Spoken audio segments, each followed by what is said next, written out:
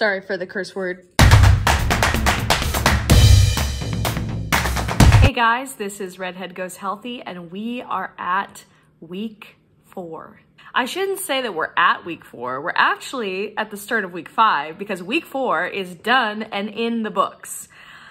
I cannot uh, begin to emphasize how much um, I feel like I've really accomplished something because it's been a long time since I've been consistently trying to eat better and be healthier.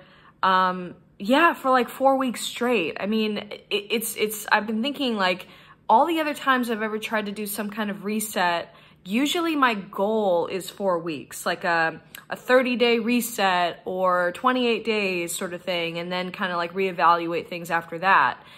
It's interesting what happens to my mind just in terms of like the psychology of it all when I know that I still have how many weeks? Nine? No, eight weeks to go. I'm not a math person, but I've got 12 weeks total, right? And so this is not even halfway. So uh, I want to just kind of talk just briefly. This is going to be kind of brief, um, as it always is. I kind of made the mistake of posting on Fridays because I work on Fridays, so I have to wake up earlier in order to work out, get dressed, take a shower, get ready for work, and then make a quick little update video for you guys. So I apologize uh, if this one's a little shorter than the others. Um, so looking back again, I've been logging everything in my very messy, you know, food journal, but still I'm writing everything down. I'm writing down the carbs and I'm also writing down the calories because trying to get a sense of, am I hitting a calorie deficit? Not that that matters with keto, but it does matter in terms of, you know, if you are eating more fat than you should be and you so you're actually eating more calories than you're burning, then that's one reason why a lot of people end up not losing um, weight on keto, based on what I've researched and based on my own personal experience. So again, everyone has a different journey that they're on, and I really appreciate the people who have been commenting, um, especially Alexandra. I appreciated her comment that she left on my last video because it's important that we share our experiences while also acknowledging that other people are on different journeys and have different experiences with the same kinds of diets. Um, and I just, I love that about this community is that there's no one saying, oh, you shouldn't be doing that. That's not, that's not healthy. That's not good.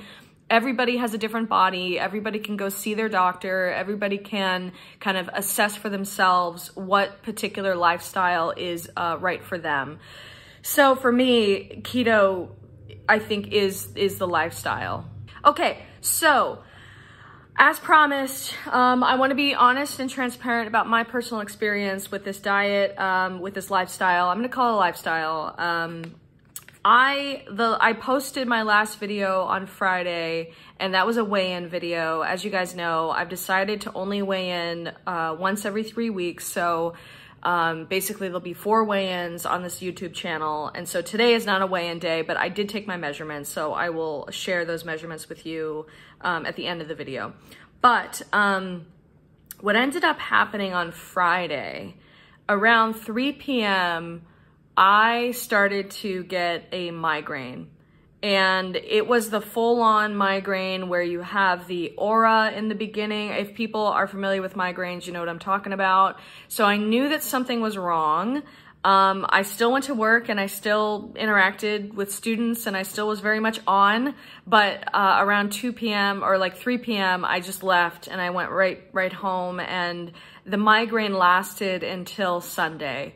I don't know if the migraine is related to keto. I should say that um, ever since, yeah, the last couple of years, I've been experiencing migraines and they will probably happen maybe once every two months.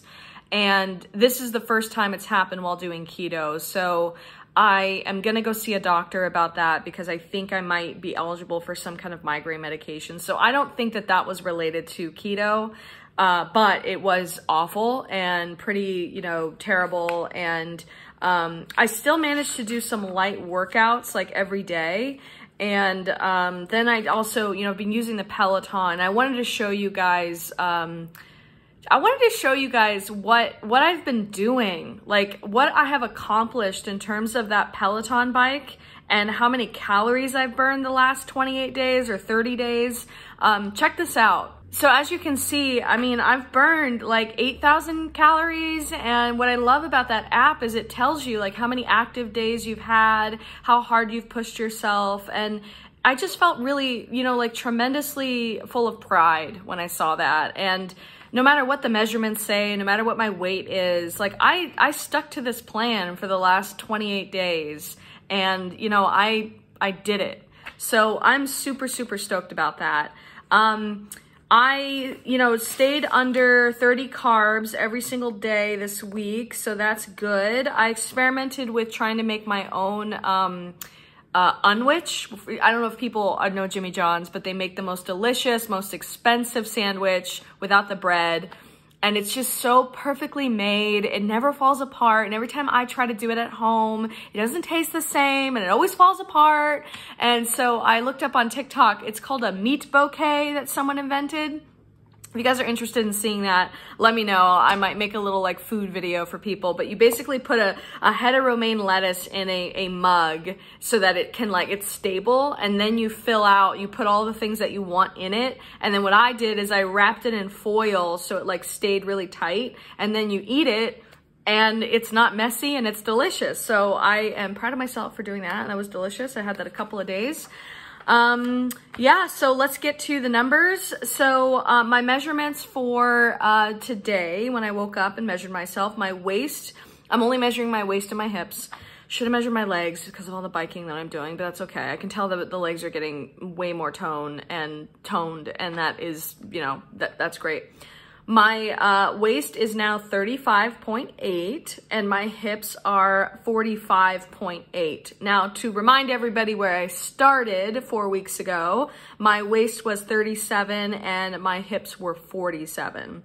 Now, that might sound kind of dramatic because I think that's like over over like an inch and a half. Um, and I, I just want to I want to say that I don't think that that is going to be the the rate moving forward. So I think I just, I started off really, you know, at my heaviest and I was very bloated when I weighed in that first day and I measured myself. So it kind of makes sense to me that now my numbers are, you know, uh, they are drastically like different, but I don't expect to, you know, keep losing inches every, every three weeks. So um, I, I'm, you know, I'm proud of myself, but I don't want it to be unrealistic. So yeah, that's all I have for today. Uh, thank you all for joining me on this journey, and I will see you next week uh, for another measurement check-in. And the next weigh-in video will be April 15th, so that Friday. I hope that you all are also, you know, staying strong in your own journeys, and uh, I'd love to hear how it's going. And if you have a YouTube channel that I don't know about, please comment below, and I will subscribe to you because um, I, you guys are so encouraging, and I, I love watching all your videos. So.